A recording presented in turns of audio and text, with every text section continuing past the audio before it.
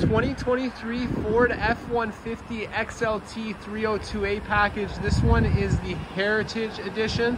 So you do have that Atlas Blue metallic with your agate black two-tone Heritage paint theme. Really sharp looking truck.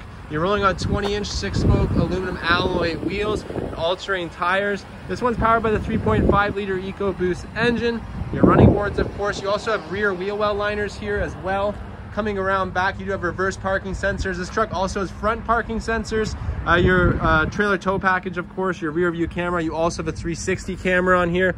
I love the black f-150 letters across the back. Looks really good uh, you do have your Ford Tough Bed spray and bed liner, your tailgate step, of course, your work surface, uh, your 400 watt outlet back here, and your LED bed lighting here also. This one is equipped with the 136 liter extended range fuel tank and a really nice light interior in here, really comfortable seats. Uh, you do have your nice twin panel moonroof.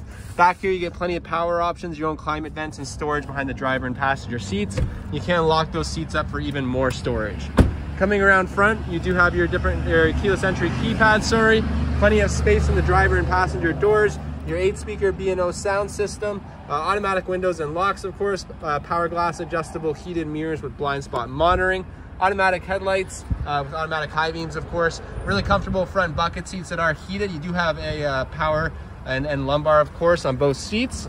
Stepping in the vehicle, you have a customizable display right behind the steering wheel. Uh, this vehicle is actually a demo here at the dealership, so it has 11,000 kilometers. Great deals on this vehicle currently. Um, you do have your adaptive cruise control and your lane keeping system. It does have Ford Copilot 360 um, Assist 2.0.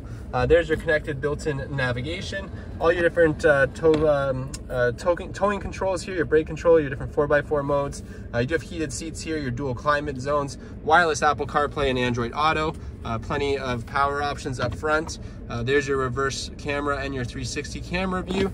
remote start in the key fob, you do have your folding shifter, your Heritage Edition right across here with your interior work surface, and then you still have plenty of storage inside the lockable center console as well as a couple more USB ports and more storage in the lockable glove box and just above that, and your auto dimming rear view mirror. So really nicely equipped truck all the way around.